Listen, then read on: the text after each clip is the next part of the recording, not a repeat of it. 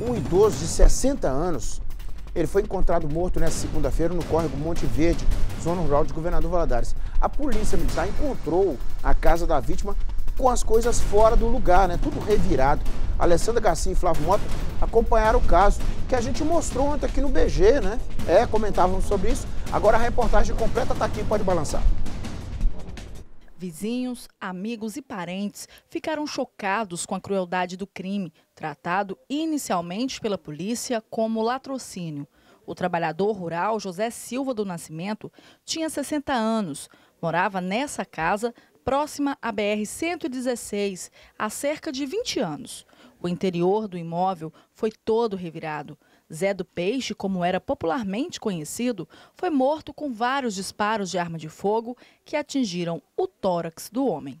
O crime aconteceu por volta de 9 horas aqui nesta casa que fica no córrego Monte Verde, que é uma área rural de Governador Valadares. De acordo com a polícia, um amigo da vítima, um senhor, estava no interior da casa quando dois homens que se apresentaram, que disseram ser ex-detento de penitenciárias, renderam esse senhor querendo roubar alguns objetos. No meio dessa situação, a vítima fatal, o senhor José, que havia ido à casa de um vizinho buscar uma serrinha para continuar algumas reformas que fazia aqui no local, chegou teria se assustado com aquela movimentação e então reagido.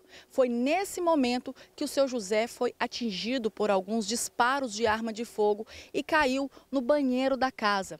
Morreu no local. Esse amigo estava na casa esperando ele.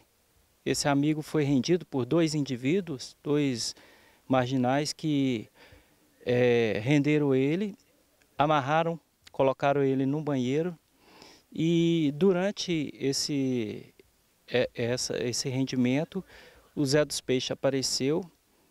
É, a gente está investigando para saber o que, que aconteceu, mas provavelmente ele reagiu ao assalto e durante essa reação ele foi atingido por golpes é, de arma de fogo e também por e posteriormente por disparo de arma de fogo.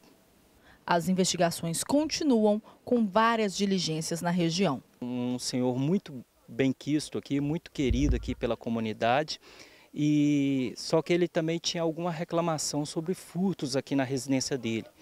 Então, é, ele tinha alguns problemas né, com esses furtos e já havia reclamado aí com as pessoas que a gente, a gente perguntou aqui na, na comunidade pode ligar para a gente 190 e nos ajudar aí com informações. É, quem tiver informação, passar para 181, 190, né, para as forças de segurança ter acesso às informações e tentar juntar isso aí. Que crueldade, né? Que maldade.